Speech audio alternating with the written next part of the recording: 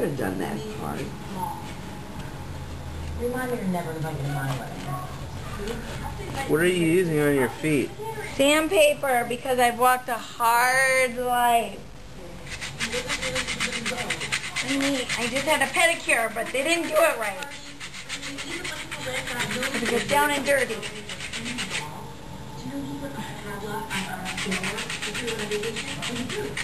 So what does the sandpaper actually do? Takes off the dead skin. Yeah, the dead skin I and mean, my... nobody's ever used sandpaper. You use public fillers. I So sandpaper's better? I don't know. I never actually need it. stronger... You need a higher gel. grit? Yeah, Do you, have any should I just pull my belt sander out?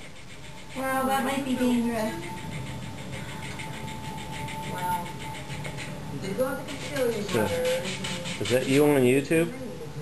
Yeah, that's me when I was a famous movie actress. So now, It sounds like a goddamn movie.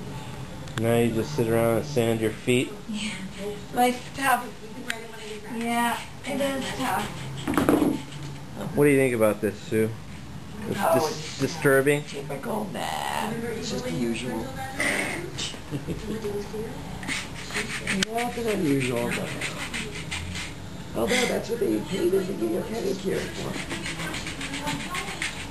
You would use anything for a man.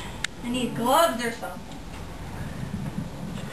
Have the dust buster right there next to you so you can...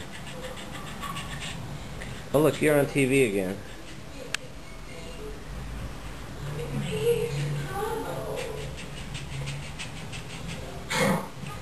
That's the worst fake sneeze ever.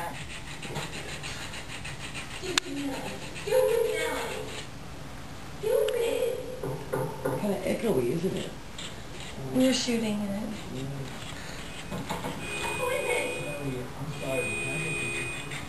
Can you see, I even know of a crisis here. Good actress. Thank you. Next time, use the domestic facility. Can we get a look at your feet? Well, I mean, there's the top. Those look okay. But the bottom needs some work.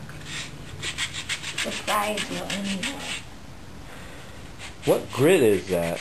I don't know, but Look on the back. It is. Peek up. Oh, man. Resin bond aluminum oxide cotton cloth 50. So am I going to get cancer now? Oh, What was John. that? Oh, that was that is how I. Yeah, I was going to say, I thought that one familiar. Oh, there you are. Ew. Well, hair braid looks dumb. You look a lot better there. yeah, look and see, it doesn't have bones sticking out.